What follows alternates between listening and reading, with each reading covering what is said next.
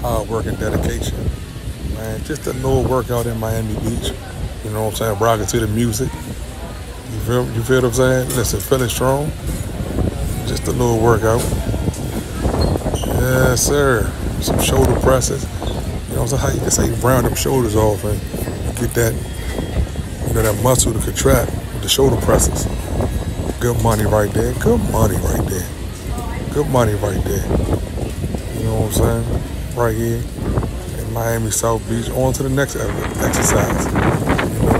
You know, y'all know I love drinking beers, man. So I gotta go ahead and work it out. You know what I'm saying? Crunches hanging off the monkey bars. You know what I'm saying? Good crunches hanging off the monkey bars. Good money. Good money. You know what I'm saying? All the way good money right there. You know, yeah, look at that. Look, hard work and dedication pays off. Look at it. Look at it. Uh-huh. The next exercise. You see what's going on. Man, that right here, this one right here, this one right here was real live.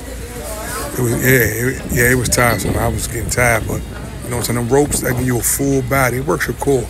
It gets your core together too. Get your core the way straight, strengthen your core up. You know what I'm saying? Good money. Good money. You know what I'm saying? Trying to get the core strengthened up. I told you I'm in the best shape of my life right now. I'm in the best shape of my life. You know what I'm saying? In the best shape of my life. Getting that core together. You see what it is? You know, this right here, on to next Everest workout. This right here with dumbbell shoulder presses.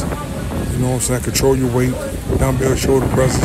That builds your arms, your shoulders, all that, man. Just a good little workout you know, just controlling the weight, you know what I'm saying? Quick little shoulder presses with the dumbbell shoulder presses, man.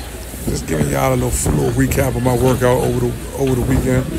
You know, I'm, I'm, in Miami Beach right now, about to head on back. Next, right there, that's the dumbbell. No, excuse me, that's the kettlebell to the side. Strengthen the core up, strengthen your side up.